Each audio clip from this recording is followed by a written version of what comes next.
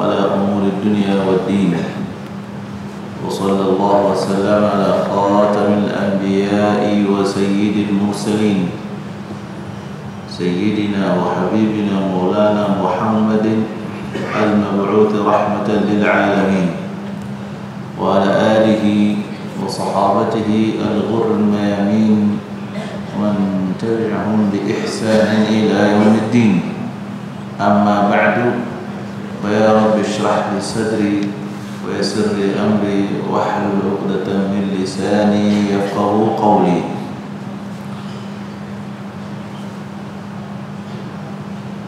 السلام عليكم ورحمة الله وبركاته. بعدكم حميد من يزنك سبحانه وتعالى. وكنت كريح من أمان تميت محمد صلى الله عليه وآله وسلم. Tunaendelea kukumbushana na masala mbalimbali ya dini yetu, na siku yetu hii ya leo huwa tukisomeana masala ya fiqhi. Tupo katika mlango wa hija, na leo hii tukiendelea katika kuzielezea arkanul hajj, tupo katika nguzo ya kwanza nayo ni al-ihram, kule kuhirimia au kuingia katika ibada. Tukasema kwamba nguzo hapa inayokusudiwa ni ile an-niyatu fi dukhuli wa niyatu dukhuli fi nusuki bijamii aujuhihi, ni ile nia ya kuingia katika ibada hii kwa nyajihi zake zote, kwa sampuli zake zote zilizotajwa na wachuoni, kama ikiwa ni ifradi, kama ikiwa ni qirani, kama ikiwa ni tamattu'i, kwa ujuhi zake zote. Lakini pia ihram iko ni kwa maana mavazi, na hiyo tutakuja kuizungumza namna yake, bali ihram ya vipi, iweje, namna gani kwa hiyo ihram ya nia, jana tulikuwa tumeeleza kwamba mtu anapotaka kufanya ibada hizi kuna zile kaifia mbalimbali za hija, na hapo basi atafanya hivyo, nia zitakuwa mbalimbali. Kwa kukumbushana, tukasema ikiwa atahitajia kufanya hija ambayo ni ya ifrad, basi atasema namna hii kwamba nawaitu lhaja wa ahramtu bihi lillahi taala لبيك اللهم بحجة تسافيا نقول لنجينا ونتشريد وقسم لبيك اللهم بحجة المتوشي إكا أكوا نتاكا كفانيا عمرة. بس يتنوي بنويت العمرة وأحرمت بها لله تعالى. أو تسمى لبيك اللهم بعمرة. إكوا نتاكا كفانيا حجة. Pamoja na umra, basi atanuia kwa kusema nawaitu lhaja walumrata wa ahramtu bihima lillahi taala, au atajitosheleza katika nia pia kwa kusema labbaik allahumma bihajjati wa umra. Ikiwa atahitajia pia kufanya ibada ya hija kumhijia mtu mwingine yeyote, basi atanuia kwa kusema nawaitu lhaja an fulani, kutokana na fulani, wa ahramtu bihi lillahi taala, Awali atasema labbaik allahumma bihajatin an fulani, labbaik allahumma bihajjatin an fulani. Kwa hiyo ndo taratibu za nia. Tukasema namna nyingine, kuna namna ya itlaq, kuachilia tu nia.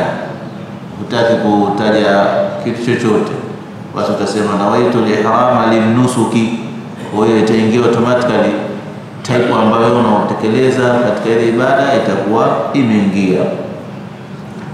Thumma mtu akimaliza hapo, yasrifu ila mashaa kabla shuruhi fi nusuki tawaf al-qudum wa ghairihi.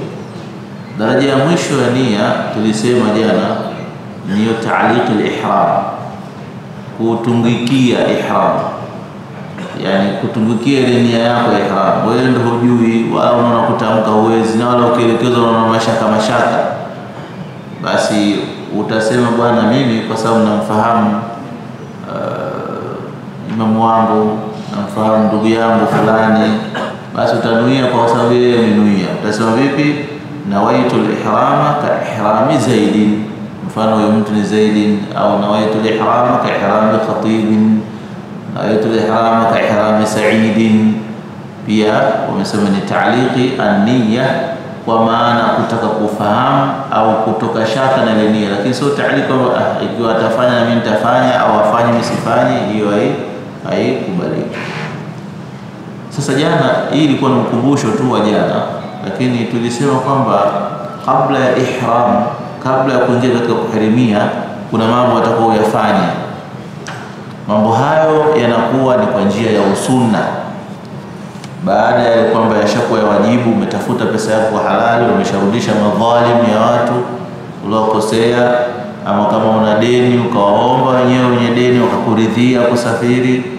Maanake mtu alikuwa ana deni hajawajibikiwa kuhiji, bado hajakuwa wajibu kwake kuhiji, bali akiwa hana deni au umepata kudhaminiwa na tiketi na mtu mwingine, basi atafute radhi kwa yule ambaye anamdai. Kuna takifa basi Maanake kuna kuna kuenda kule ukarejea salama walilhamdu, na kuna kuenda kule usirejee kama Mwenyezi Mungu kule kule. Sasa deni lako eh, linatakiwa eh, liwe mukalafu ni wewe tu, liwe limewajibika kwa namna ambayo inafaa kuwajibika, sio inawajibika kwa namna ya kujilazimisha. Huenda ukawa uzigo na uzito femini. Sasa mambo kama hayo tunasema ni sunna kuyafanya na wengineo baadhi ya maulamaa wameyakokoteza, wamesema kwa mtu ambaye anataka apate ruhu ya hija, anataka apate ruhu ya hija, lazima afanye haya maandalizi. Ingawa fiqha tunasema haya maandalizi ni kwa njia ya sunna, kwa maana kwamba ikiwa utakosa umejipotezea fadhila wewe mwenyewe tu, ndio itakuwa ile haji sasa. Kipindi hicho inakuwa kama ni picnic, haiwezi ikaleta impact kubwa katika nafsi yako zaidi ya kwamba umefurahi umekwenda na wewe umekuwa alhaji. Mambo hayo ya kwanza kabisa kama unavyoambiwa ni kujinadhifisha, kujisafisha. Kujisafisha kwa kubwa ni kujisafisha roho, roho yako uondoe, kama una magovi na wezio uyaachane nayo. Kama una tatizo na mtu uliondoe, kama una chuki na mtu uiondoe. Hiyo ndio tohara kubwa sana, ingawa tumetakiwa pia tufanye tohara ya physical, kwamba tufanye wazi tohara ile halisi ya utohara, kujinasifisha na nini na mingineyo, kwa maana kwamba man yuridu alhajj, yoyote mwenye kuhitaji kuhiji wa arada al-ihram, na anataka kuhirimia, basi alayhi an batinahu, ni juu yake anadhifishe ndani yake kwanza. Eh, ni juu yake, hili sio jambo labda la khiari, anadhifishe ndani yake. Ayunadhifa batinahu bitauba ila Allah, kwa kuleta tauba kwa Mwenyezi Mungu, utubie haki ya kutubia, haki ya kurejea kwa Mwenyezi Mungu ili upate zile karama za Mwenyezi Mungu utabia, kwa sababu makusudio ya hija pia ni tatuhiri nafsi. Kwa hiyo kama uja nafsi yako haijakuwa tahara, uwezi ukapata zile karamatullah ambayo Mwenyezi Mungu ameweka takrima maalum, tuzo maalum kwa wale wanaokwenda kutekeleza ibada ya hija. Kwa utubio kwa Mwenyezi Mungu Subhanahu wa Ta'ala, ili ni jambo leni, ni wajibu. Nimetaja ni, ni, ni, ni, ni sunna hapa isika confuse watu. Haya naeleza sasa ni mambo ya wajibu kwamba uyafanye kabla hujaihirimia. Ya kwanza ni nini? Tumesema ni kujinasifu kujinadhifisha nafsi yako, kujisafisha moyo wako, uondoe mifundo, uondoe mihikdi, uondoe chuki, uondoe jealous kwa wengine, kwa nini imekuwa hivi, yote ni uondoe, ujisafishe. Jambo la pili ufanye istighfar, kurejea kwa Mwenyezi Mungu, kwa sababu haya madhambi hatuyonayo yanatuzuilia kupata siri za zile ibada tuliowekewa na Mwenyezi Mungu Subhanahu wa Ta'ala. Madhambi yanatuzuilia kupata siri tuliowekewa na? Na Mwenyezi Mungu Subhanahu wa Ta'ala.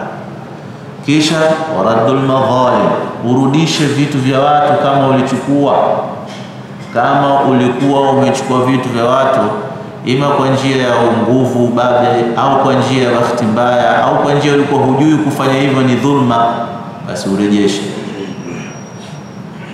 na daraja ndogo sana kuomba watu msamaha. Bwana, mimi nimejaliwa mara hii kwenda safari hii ya hija.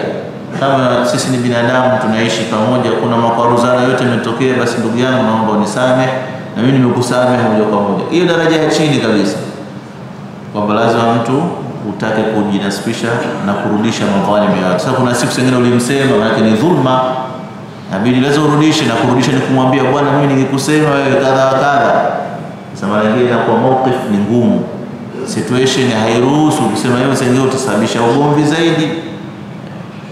Ni mtihani kama yule mwanamke mmoja aliyokuwa akipika kila siku akimpelekea jirani yake zawadi. Itokea South Africa zamani, akipika ile jirani anampelekea. Sasa yule jirani kidogo alikuwa na nafasi na alikuwa mtu maskini, apika pika vitumbua au maandazi, kwa kauli tulizopokea. Kila akipika moja mawili anampelekea jirani yake, jirani asante, anapokea, harudishi lakini kutumia ndo tabu, hatumii kutokana na nafasi aliyokuwa nayo, anaona kile ni chakula cha dhiki. Manake ukipewa chochote katika adabu za Uislamu, chochote ukipewa na yeyote yule, unataka ufanyaje? Upokee, kwa sababu ile ni ataa min Allah subhanahu wa ta'ala, ni kipawa umepewa na nani? Na Mwenyezi Mungu. Yule mtu imekuwa na nini? Wasila tu, namna cha kupitia upokee ile, kisha wewe kama huna haja nayo, kwa sababu isha katika miliki yako, ukiwa wewe kwa sababu nafasi ulikuwa nayo huna haja nayo, inabidi umpe mwingine mwenye haja nayo. Hivi ndio tunafundishwa na Uislamu. Sasa ile mama kila akipokea mandazi, yeye mwenyewe hayali wala hampi mtu sadaka, ana yaweka sehemu, kwa maana anaogopa hata kuyatupa, kwamba ile jirani yake asije akaona akamvunja moyo. Sasa ikafikia mahala naye akataa kwenda hija na mambo ya hija tunaambiwa ndo kama hivi, mtu anasikia mawaidha, anasongezwa, anaelezwa kwamba lazima ufanyeje, urudishe madhalim, uombe msamaha, ufanye istighfar kwa Mwenyezi Mungu. Akaona katika moja ya njia salama, acha nimwambie jirani yangu, bwana, mimi nimejaliwa hija, naomba unisamehe bwana. Akaenda kumwambia bwana, jirani yangu, mimi nimewafikiwa kwenda zangu ibada ya nini, ibada ya hija, ninakuomba unisamehe E, kwa yale madogo madogo, wewe na mimi bwana, hakuna chochote bwana, Mungu akuwafikie na kadha kadha. Akanambia wewe hujui, lakini Mwenyezi Mungu anajua. Leo naomba nikuombe radhi katika hilo, unisamehe ili niende hija. Haya, lipi? Akasema mimi kila mara unaponiletea na kila asubuhi ukiniletea ni maandazi siwezi kuyala, kwa hiyo nilikuwa naweka sehemu takriban, alifanya asemekana kwa kauli ni miaka miwili na nusu au kidogo anafanya namna hiyo, jirani yake anampelekea maskini. Yeye alikuwa akitarazaki na kidogo na jirani, maanake jirani tumeusiwa sana, umpelekea. Basi kwa hilo hali